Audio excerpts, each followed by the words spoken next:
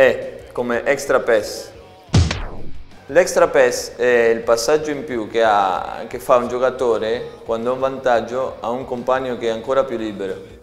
La situazione tipica in cui si effettua un extra pass è quando un compagno o raddoppiato o in una penetrazione dove viene raddoppiato ehm, fa uno scarico a un compagno che ha già un vantaggio con i difensori in recupero.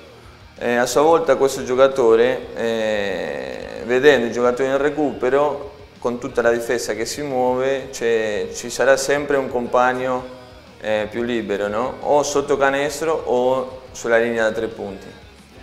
In questo modo si trasforma un tiro di buona percentuale a un tiro di ottima percentuale. L'extra pass è un'azione molto bella da vedere perché coinvolge molti giocatori e stimola il gioco di squadra.